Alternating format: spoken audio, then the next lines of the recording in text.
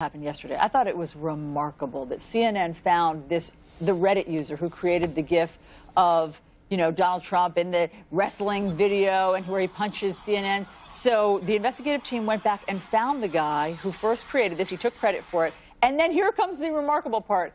He apologized. Mm -hmm. He apologized for having done this. How often do you hear someone who creates a video that goes viral then say this? This is what he told CNN. I would like to apologize for the posts made that were racist, bigoted, and anti-Semitic. These are the other posts that were on his account. I am in no way this kind of person. I would never support any kind of violence or actions against others simply for what they believe in, nor would I carry out any violence against anyone based upon that or support anyone who did. He went on. He was so... But then why is there so much stuff on his account?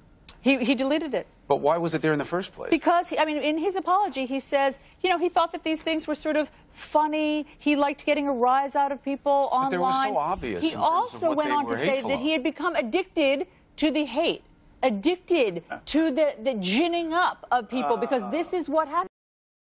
He has a medical condition. Honestly, he has a, the reason that I think this is so notable, Crystal is because this is a very full-throated, I think, genuine, honest apology. He has also asked that we not reveal his name or whereabouts, and we at CNN are honoring that because he's apologized and he thinks that he would then be in danger and at risk if other people knew his name. We get it. We understand that. So I don't know. I just think that this is just a very interesting addendum to this whole story. It was certainly not the outcome I would have thought uh, once we tracked him down. Uh, you know, and, and I think it's actually a nice thing. But I would remind people, unless I'm mistaken, I saw the White, I saw quotes coming out of the White House uh, over the weekend saying this Donald Trump did not get this image from Reddit.